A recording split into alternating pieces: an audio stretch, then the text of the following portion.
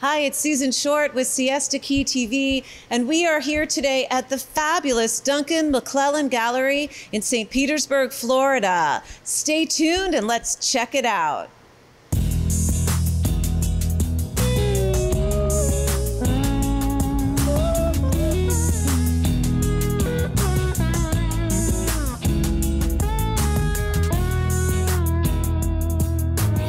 So, Duncan, what a phenomenal place you have here. This gallery space is just outrageous, filled with the most stunning art glass. I understand you have over 100 art glass artists here. How did you get started?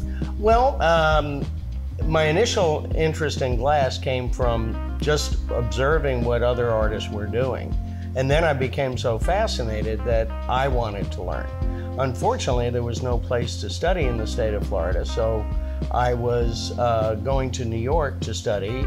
And after a few years of going up there and going to Italy to study, I was able to rent space here in St. Pete from somebody that did open a studio.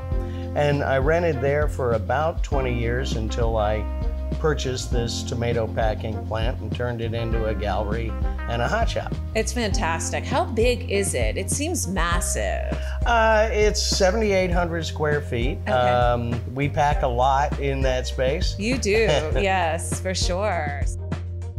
So tell us about some of the artists, and then I also want to know about your educational outreach program. Oh, well, thanks. Um, the artists uh, are from all over the world. They're internationally known uh, for the most part, uh, uh most of our artists. They're in multiple museum collections. I'm very proud to be associated with them. We also um, bring in emerging artists as well Great. through our DMG school project. So tell us about that project. That was started uh, as an outgrowth of uh, starting the gallery, knowing that there needed to be education both uh, for the general public, but particularly for children. Yeah. Um, and one of the things that we do, we have a mobile unit that goes out to schools, typically disadvantaged schools, and uh, we teach about 400 kids in a day. And we're not teaching them how to blow glass. We're using glass to show them how an artist uses uh, chemistry to create the colors, uses geometry to create the, the Shapes. forms or the shapes, uh, uses algebra to figure out how much to sell it for. Uh, so these are all factors that we're hoping that the children get the aha moment, uh, that what they're realizing that they're studying has real life application. Application.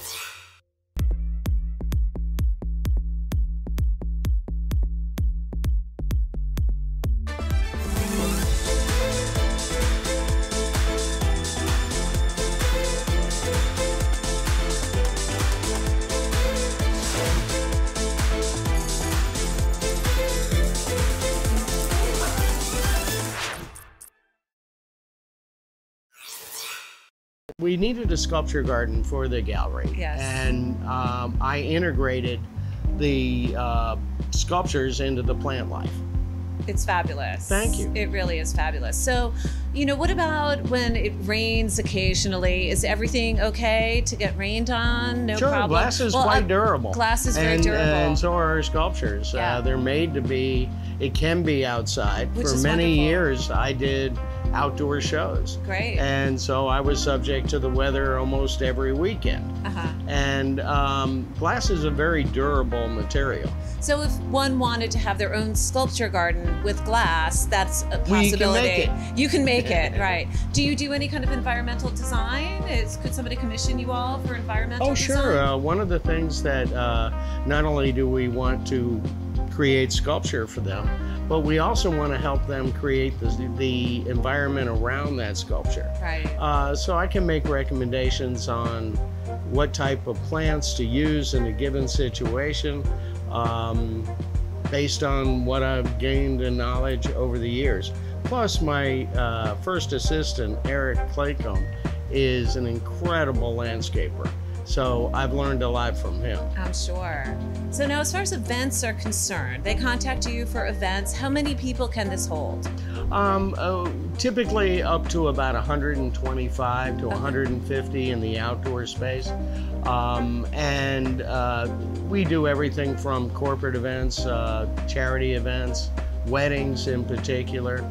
Um, and all the proceeds go to DMG School Project, our 501c3. That's fantastic. So, do you do your own event, your own gala Oh. event? Yes, uh, we do events uh, every second Every second Saturday, Saturday, yeah. and then we have private uh, patron events uh, Okay. from our uh, for our supporters that support DMG School Project or our gallery patrons.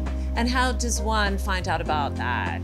Um, well, you become a patron by buying artwork. I got it. Uh, and Okay. then you get invited to our private uh, patrons party. Is there some uh, kind of newsletter people could subscribe Sure. to? Yeah. Uh, we we li- invite everyone to sign up on our website. okay. Um, and uh, you'll get announcements every month of the artists we're bringing in, some of the other events that are available.